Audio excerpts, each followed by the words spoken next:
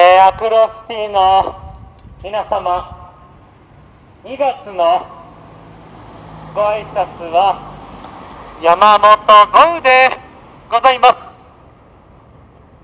久しくマイクを通してのご挨拶が足りておりませんで申し訳ございません。本日マンション前の山桃のお隣から山本ゴンのご挨拶でございます。政治家はよく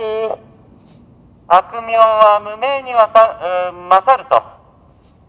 そんなことが言われまして。たとえ悪い評判でも何も評判がないよりはマシであると。そんなことが言われておりまして私もまあ新人としてこれを言ったら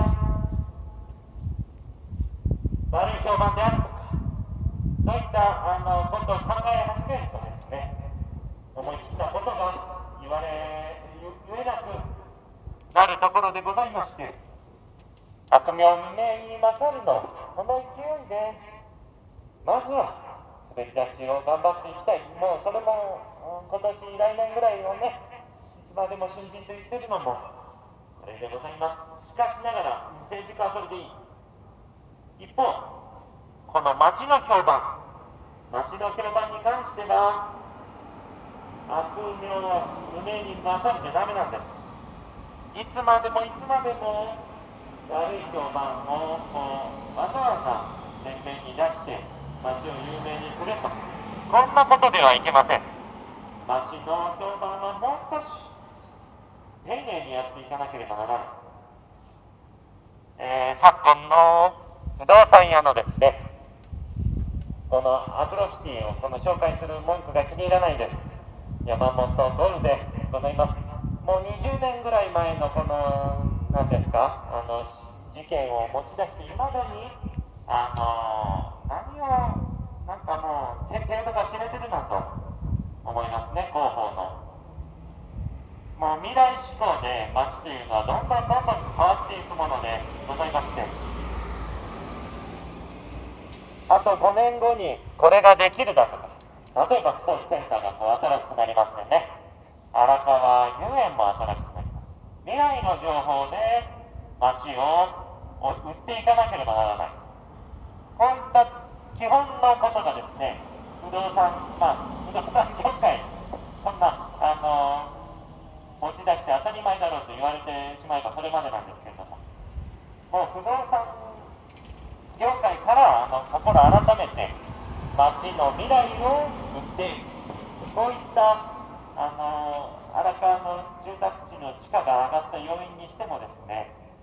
いまだに上の東京ラインとかを持ち出してあの解説されるんですけどそんなの当たり前なんです。交通をまずしっかりさせる。これ当たり前。この後で街の価値を高めていく。それをやっているのが今の我々でございましてその未来をしっかりと伝えてほしいと不動産屋にそれができないマスコミにそれができないのであれば山本と政治の場でですね、しっかり荒川区を正当に評価していただく、スポーツ、文化、この2つの重要なですね、全世代型の部分で荒川区が日本全体をリードしている、この状況、できれば荒川区ごとの健康寿命の延伸、伸びである、こういうあの調査があれば一番いいんですけれども、残念ながらあの東京都単位の、健康寿命のデータしか拾えておりませんがあの健康寿命の調査はなんとですねあの検診じゃないんですね。検診結果ではなくて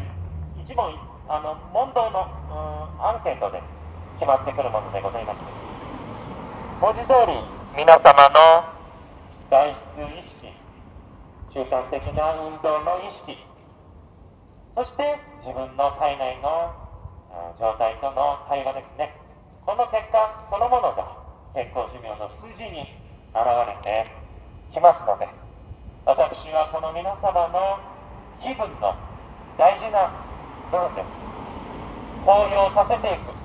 そして荒川が初で健康を政策健康都市荒川が日本を引っ張るこのための私ありがとうございます頑張ります無所属で山本ゴンと申します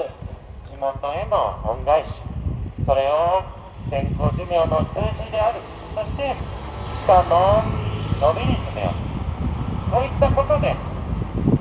結果を出して皆様への恩返しを遂げてまいります。山本ゴルでございました。それでは自転車も倒れたことでこれを合図として行ってまいります。ありがとうございました。また参ります。